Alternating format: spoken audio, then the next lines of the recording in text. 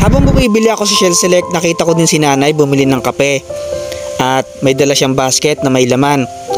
At paglabas ko, tinanong ko kay Manong Guard kung anong tinitinda ni nanay. Yung pala, ay kesong puti. At nagtataka ako dahil alauna na ng umaga pasado, eh nandito pa rin siya sa lansangan para magbenta ng kanyang produkto. Dahil nga siguro hindi siya auuwi hanggat hindi niya napapaubos.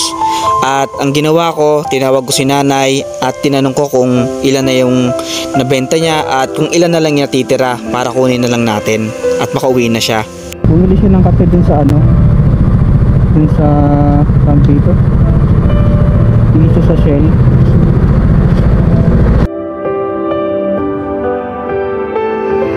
Saka pa umuwi, Nay. Saka pa umuwi.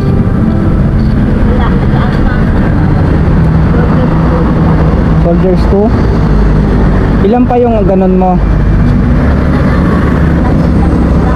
Tatlo? Magkano, magkano yung ganon? 150 isa?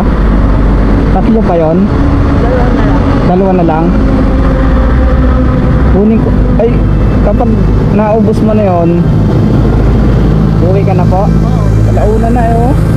122 na? 122 na, ng umaga. Alauna na. Anong oras pa po kayo dito? Alas 10 pa po, ng umaga. Gabi. Sa Pure Gold po, doon yung Pure Gold doon. Doon ako nagtinda. Tapos nung alis natin ng gabi, wala nang tao. Pumunta na. Nakabenta naman po kayo. Ilan po yung dala nyo? Ay ano lang, ano lang, tatatunan ka na po dito. Isa pa lang pinta ko. Tatlong piraso lang yung... Ilan lahat yung dala mo? Tatlo nga dito. Eh, nandun kanina. Walo. Walo. Li, bali, anim lang yung nabenta mo? Hmm. Kukunin ko na. Dali mo na lang dito para makuha ka.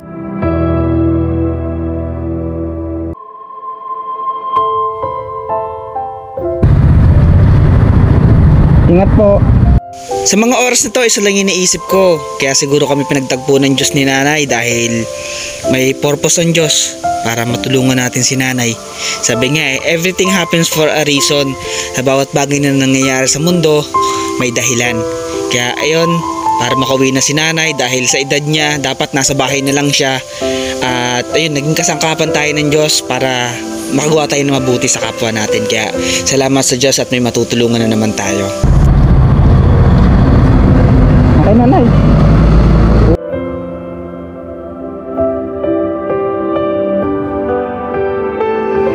Uwi na po kayo nito ha. Uuwi na. Paano ba kayo? First time kong kumain nito eh. Napalaman lang yung tinapay, palalaman lang. Ah, Pwede sa pandesal. pandesal, pa, pandesal po. Oo, tsaka toasted bread. Opo, dito try ko mamaya. Oo. Mga bibigyan ko yung tropa ko. Plastic po yan? Oo.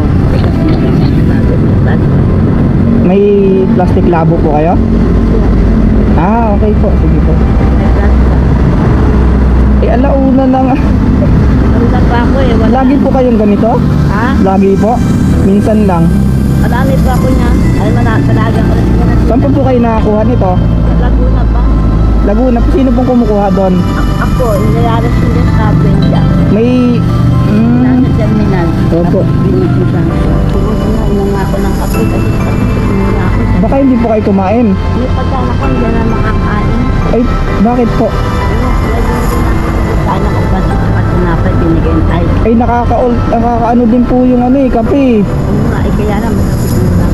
Oo, ay lalo po nga ano yan yung sa kape. Hindi ako maka... Sanay na ako, hindi ako maka... Ano, mapakali pagka wala lang. Kasi acidic po siguro kayo. Hindi ko alam. Ako po kasi acidic din ba? Hindi ako kumakain ng pansit eh. Ay, binigyan niya. Binigyan lang naman niya. Mm. Yung customer ko sa client ko. Mhm. Eh, eh, kaso, Ay, ilang taon na po kayo niyan? 79. Paano ako kakain? Eh, wala naman akong plato. Wala akong gana. Mm, uwi na po kayo ha. Thank you, salamat. So, Mm, ingat po. God bless po. Sige po.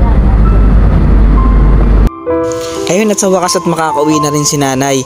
Ah, talaga namang ah, ramdam ko sa kanya yung tuwa niya dahil sa wakas at makakauwi na siya.